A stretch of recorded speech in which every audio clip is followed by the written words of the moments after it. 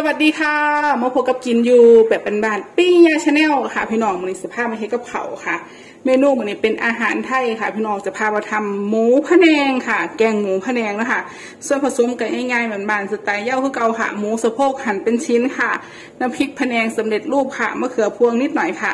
ใบมะกรูดหั่นฝอย อันนี้คือฝอยสุดสำหรับเย่านะคะ แล้วก็พริกฟ้าหั่นฝอย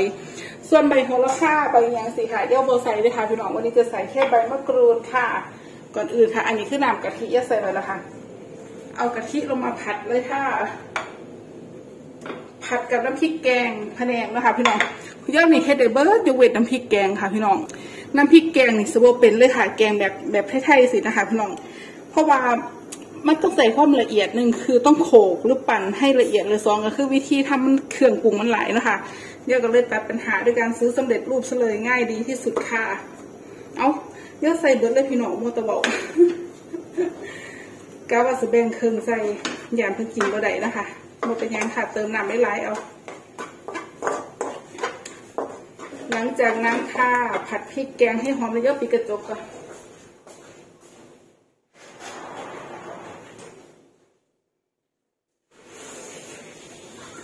พวกอาหารกะทิได้ค่ะพี่น้องโดนๆเถื่อย่าเคยสิเห็ดได้เพราะว่ามันเห็ดกินหลายมันก็อ้วนนะคะ ติมกะทิลงอีกหน่อยหนึ่งค่ะ ผัดไปเรื่อยๆจนพริกแกงเราหอมแล้วกะทิแตกมันค่ะ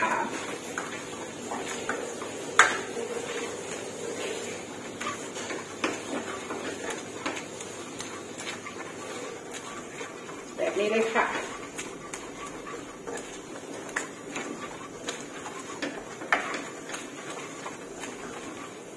ผัดไปเรื่อยๆค่ะ แล้วก็เติมกะทิลงไปอีกหน่อยนึงค่ะ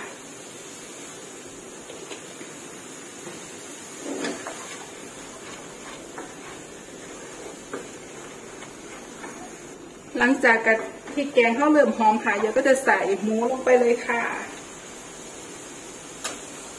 โอ้บะเกลือพ่วงสลงค่ะ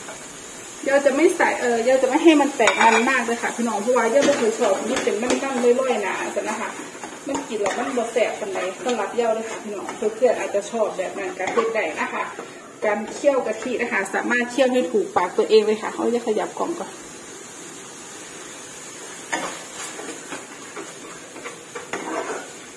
แบบนี้เลยค่ะลวนหมูให้สุกค่ะ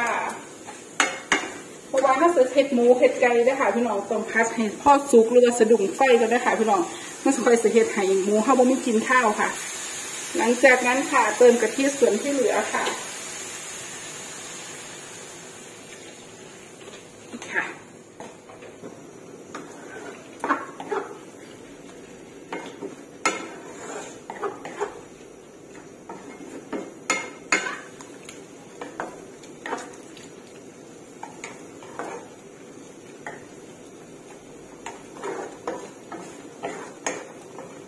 ดมา นี่เลยค่ะกะทิส่วนกะทิจะสุดพ่อแล้วค่ะพี่น้องเดี๋ยวจะเติมน้ำลงอีกหน่อยนึงค่ะ หลังจากนั้นค่ะปรุงรสด้วยผงปรุงรสโอ้ยพี่น้องปัวปะปัวปะขอโทษขอให้หลายเลยค่ะ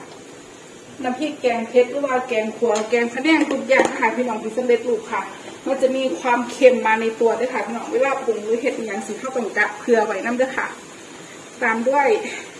น้ำปลานิดนึงค่ะ ประมาณนี้ค่ะ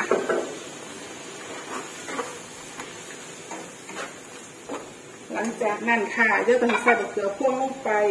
เพราะว่าอยู่นี่กินมะเขือพวงแบบสุกเละเลยค่ะ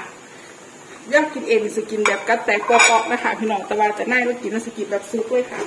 หลังจากนั้นค่ะเติมน้ำตาลทรายลงไปหนึ่งช้อนโต๊ะกลางอีกปลายส่วนค่ะ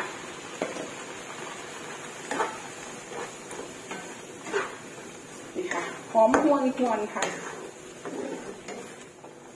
หลังจากนั้นค่ะเราจะโรยผิวมะกรูดลงไปก่อนครึ่งหนึงค่ะ เขี่ยวเพื่อให้มันหอมนะคะพี่น้อง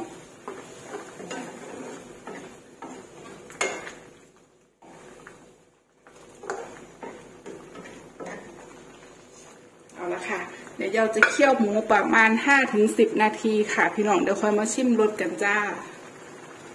เอาละค่ะ หลังจากเคี่ยวมาได้สิบนาทีค่ะ เราเริ่มชิมรสกันสักหน่อยหนึงค่ะพี่น้อง